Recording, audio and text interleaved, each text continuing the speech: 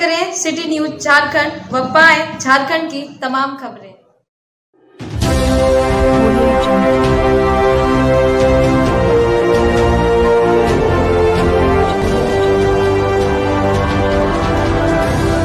नमस्कार, आप देख रहे हैं सिटी न्यूज़ और मैं हूँ आपके साथ कंचन। नगर निगम क्षेत्र के वार्ड नंबर 15 के पार्षद गुड़िया देवी की उपस्थिति में सोमवार को तीनों स्थानों आंगनबाड़ी केंद्र में बच्चों के बीच स्वेटर का वितरण किया गया।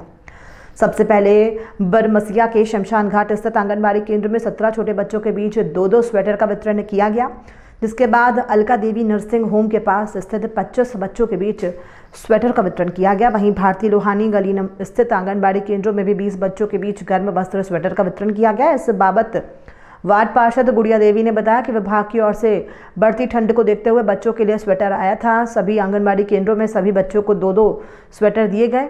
उन्होंने बच्चों से कहा कि वे नियमित शिक्षा ग्रहण करने के लिए आंगनबाड़ी केंद्र पहुँचे, वहीं साफ़ सफ़ाई को लेकर बच्चों के अभिभावकों से वार्ड पार्षद ने कहा कि साफ़ सुथरे कपड़े पहनकर बच्चों को शिक्षा ग्रहण करने के लिए आंगनबाड़ी केंद्र भेजे। उन्होंने नियमित कक्षा और पोषाहार समय पर देने की बात कही। मौके पर सुपरवाइजर किरण देवी, सेविका अलका देवी, कंचन देवी, भारती लोहानी समेत सहायिका उपस्थित थी।